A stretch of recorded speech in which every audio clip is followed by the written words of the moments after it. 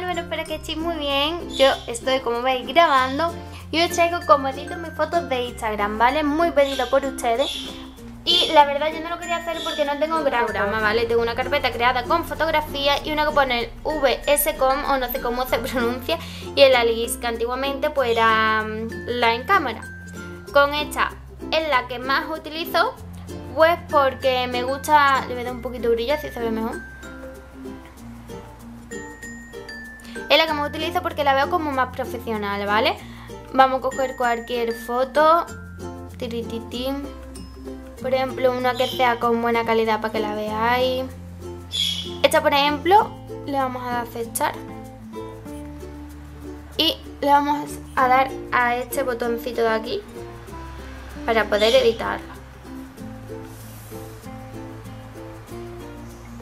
Yo de aquí, como veis, la foto no tiene ningún efecto ni nada. No sé si lo podréis apreciar.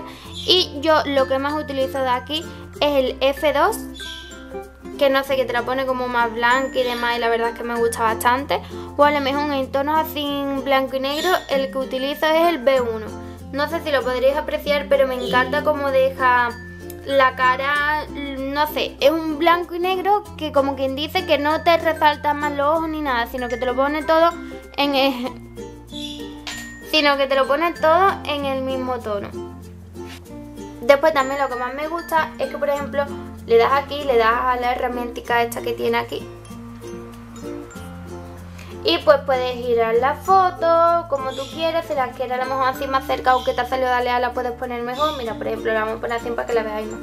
Después la podemos recortar para que se vea como una parte más así como un poche, como yo digo.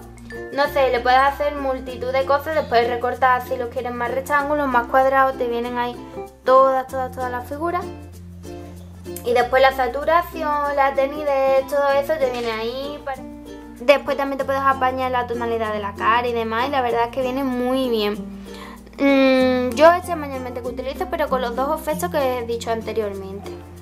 Después, si nos vamos por ejemplo a la en cámara, ya lo estoy diciendo que es muy rapidito pero es porque muchos de ustedes me lo habéis pedido y no quería pues haceros el feo de no hacerlo, ¿no? Y de aquí prácticamente utilizo todos los efectos porque muchas veces quedan súper chulos los efectos no sé, por ejemplo, el que más me gusta ahora es el bebé porque te deja una cara, cuando te hace la foto sin flash, la verdad que te la deja así muy limpita. No la suelo utilizar para mi filtro, a lo mejor para ponerlo en el móvil que queda muy bien. Después, para, digamos, para Instagram, lo que utilizo es el programa anterior, la aplicación anterior, y después que la verdad tiene muchísimo efecto y la verdad que me gusta bastante. Otra cosa que también me gusta es hacer collage.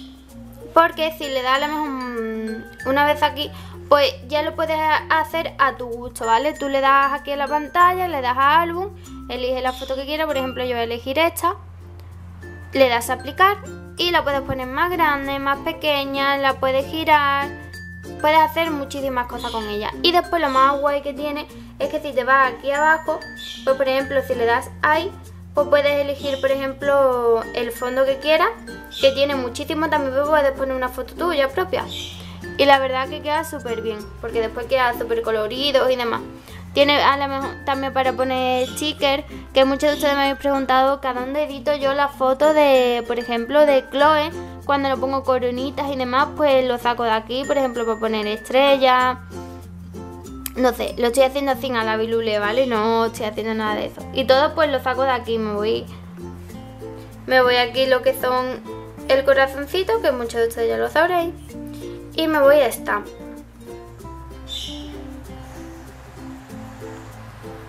Y de aquí pues ya aparecen todos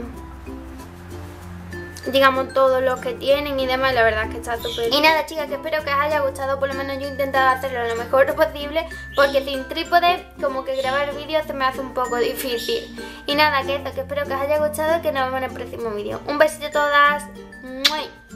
Adiós.